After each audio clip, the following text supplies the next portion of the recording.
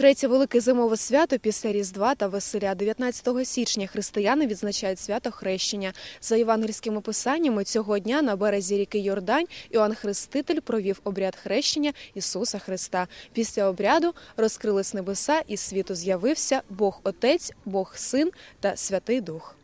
На водохреща священнослужителі проводять службу у храмах Господніх та освячують воду. Вважається, що цього дня вода набуває цілющих властивостей та здатна вилікувати не лише тіло, а й душу. Щороку на богоявлення ревні віряни приходять до водоймищ на зимову купель. Но сегодняшний праздник является одним из э, самых больших праздников православной церкви, э, поскольку в этот день явилась э, Троица во всей своей э, полноте. Это есть э, праз- праздник э, Богоявления Престой Троицы, и люди должны в этот праздник прежде всего э, быть единым организмом православным, христианским, Купання до Києва приїхала багатсько люду. Під вагою вірян навіть крига почала тріскатись. Приїхали зануритись в ополонку і бориспільські дайвери.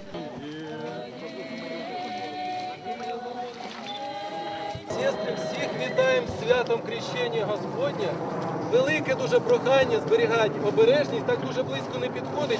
Хто готовий вже окунутися, ласкаво просимо. Всіх із святом.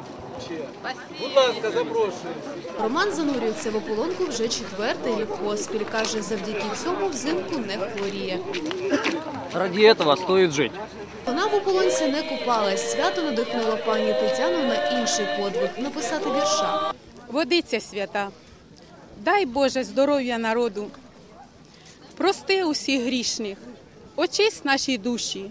Повір, ми завжди тебе любимо. Сьогодні силою духу та витримкою відзначились не лише чоловіки.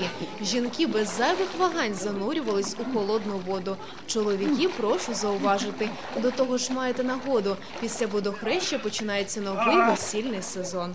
Ксенія Веркалець, Богдан Фірсов. Новини телеканал Бориспіль.